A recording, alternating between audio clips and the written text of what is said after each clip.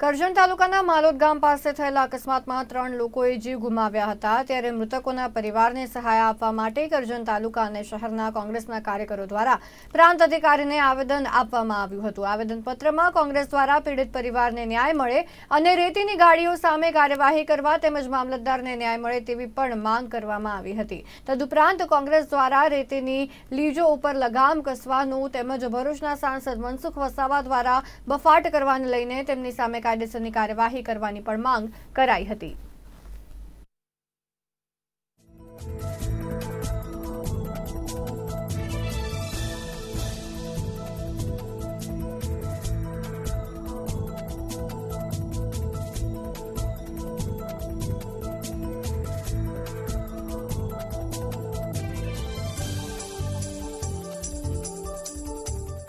બે દિવસ પહેલાં માલોદ ગામે જે ગંભીર અકસ્માત થયો, એ અકસ્માતની અંદર માછી સમાજનું પરિવારનું નિધન થયું.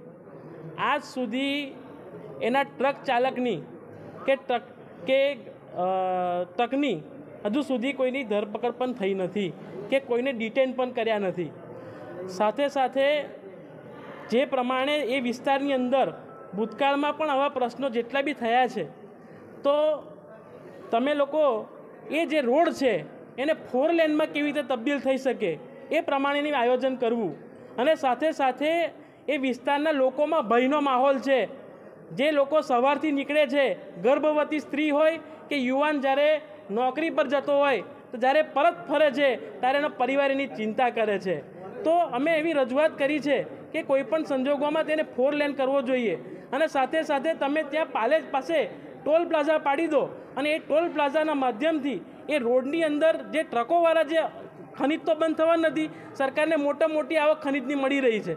પણ તમે તે ટોલ પ્લાઝા પાડીને એ ખનિજવાળા પાસે, એ ટ્રકોવાળા પાસે એનું ટોલનું વસૂલી કરો અને રોડની જાળવણી કરો, તે વિસ્તારની પ્રજાને જે પ્રશ્ન આવી રહ્યા છે, વિસ્તારની પ્રજાને જે ભયનો માહોલ છે, વિસ્તારની પ્રજાને જે નુકસાન થઈ રહ્યું છે, એ નુકસાનમાંથી બહાર આવી શકે અને જીવન જે ચાલવું જોઈએ એ પ્રમાણે તેની પ્રજા જીવી શકે.